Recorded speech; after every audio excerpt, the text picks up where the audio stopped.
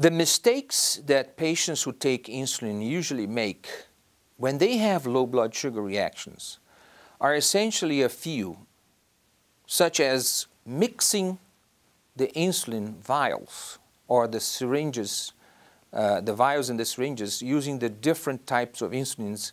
When you're supposed to take long-acting insulin, you take a short-acting insulin. When you take the short-acting insulin, you don't eat. These are the kind of mistakes that people frequently make that can generate, can create a state of low blood sugar reaction.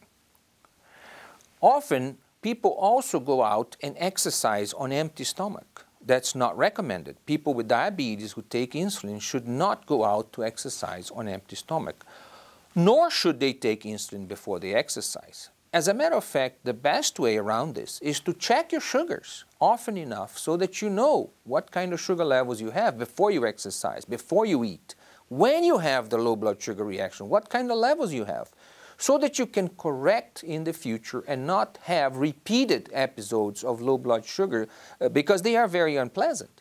And you should know how to prevent them and act obviously quickly if they do happen.